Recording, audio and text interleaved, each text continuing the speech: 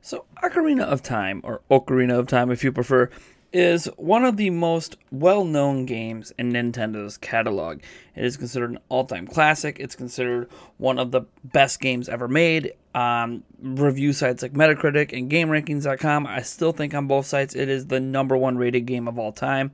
And it's also a game that is infamous or really famous, I guess, in the speedrunning community. Now, I'm not here to talk to you guys about glitchless runs and, you know, 100% runs and all the different types of speed runs that are out there, uh, including runs that allow for glitches and new world records being set. I'm going to generally avoid that kind of talk here unless it's something just totally crazy that no one's ever thought of before.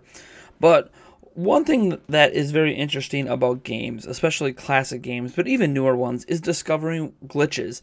And here we are nearly 20 years, you know, 19 about, since Ocarina of Time released, and a brand new glitch was just discovered that is really going to blow up the entire speedrunning community uh, and really blow up a lot of aspects of the game. So, for those who don't know, and I don't know how many of you there are, but in Ocarina of Time, there are two different stages to the game. There's where you play as Child Link and where you play as Adult Link, and you put the Master Sword in the pedestal in the Temple of Time to switch back and forth between those eras once you reach that point. You start off the game as a child. And you have to go back and forth to complete different tasks to ultimately uh, go save the day and defeat Ganon. Now, the interesting thing in this game is there are items you obtain as a child, child and items you obtain as an adult that you cannot use vice versa. So if you get the Megaton hammer as an adult, you cannot use it as Child Link. And likewise, for some reason, Duca sticks or Deku sticks you get as a child, you cannot use them as, as an adult, which I don't know why a stick. I, I understand the hammer too heavy for a child. Don't really get why a stick can't be used, but that's just the way this game works and the way the game logic works. There are child exclusive items and adult exclusive items. And despite all the glitches and all the things people have discovered in the game, that's never changed until now. So I discovered this through a YouTuber named Exodus122, and he posted this a handful of days ago, and I've just been kind of sitting on it because I'm flabbergasted, and I didn't know how to approach this video.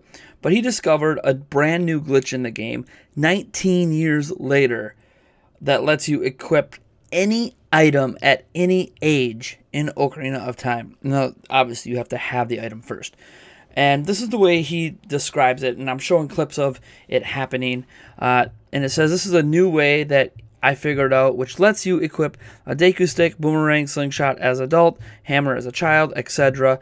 Place the cursor on the item you want to equip, then press R to get to the map screen. Next, press Z so the screen begins to rotate on one frame and I'll put up the image of the one frame and then press down left or up left and a C button to equip the item on C. When you hold the direction after the screen rotation, the first item your cursor goes to has to be equipable as your current age. Also, if you have two items on the rightmost column of items, you need to use up left instead of down left for the trick to work. Note that using a Deku Stick as adult will crash on the Nintendo 64, but it does work on Virtual Console and GameCube. So he's obviously done some testing on this, and that's obviously something you want to be aware of if you're using this on an original N64. But this glitch works seemingly across all versions of Ocarina of Time, uh, the original Ocarina of Time. I don't think it he confirmed or tested it with Ocarina of Time 3D, but this is huge. Huge, huge, huge. It is hard for me to believe that this glitch even exists and has been discovered so many years later. And this kind of gets into a bigger discussion on glitches in general. Do you enjoy glitches? Because I love glitches. Uh, I don't love when they're game breaking, of course. You know, no one likes glitches like the saving in the cannon room in Twilight Princess and your save file's borked. You can't get out. Uh, no one likes uh, glitches like I experienced in Majora's Mask, where when I saved at the owl statue in my copy of Majora's Mask uh, back on the N64, before the Stone Tower Temple boss, it would wipe my save file. Those are not the kind of glitches I that I think anyone really enjoys. Those those suck. Those are game breaking.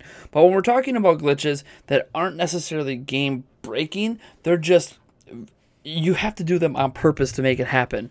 Uh, and not even like falling through the floor glitches, which I know some people enjoy those glitches. Some people enjoy boundary break glitches. I mean, there's entire YouTube channels based on boundary breaking games. But just looking at the general aspect of glitches, like being able to skip to the end of Ocarina of Time as Child Link, being able to do uh, just lots of crazy things in games uh, that aren't possible without glitches has always been fascinating to me because it's doing things that are unintended in the game and I find that highly entertaining and that's one reason why I like speedrunning that includes glitches because it's just so interesting watching people find out these things and putting in the massive amount of time it takes to discover these. I mean if you think about this 19 years later here's a brand new you know glitch for Ocarina of Time. I mean, 19 years and we're still discovering new glitches in that game. That's just insane to me. And you know, the glitch obviously isn't perfect because you're not meant to use a megaton hammer as an example as a child. So, the, so the item doesn't really appear, but you're still clearly using it. you're not meant to use a Deku stick as an adult. So the animation, you know, the image, the Deku stick doesn't appear, but he is clearly holding it, and you can use it. It's it's just a really interesting thing that I I find highly entertaining. And I want to know your stance on glitches in games. Do you find them entertaining?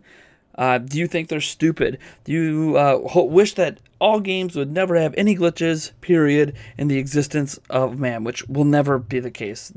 It's impossible for any developer to come up with every single possible thing a person would want to attempt to do in a game and make sure that it doesn't break the game or do something unintended. It's just not possible, especially when we're talking about today's games that are just so massive.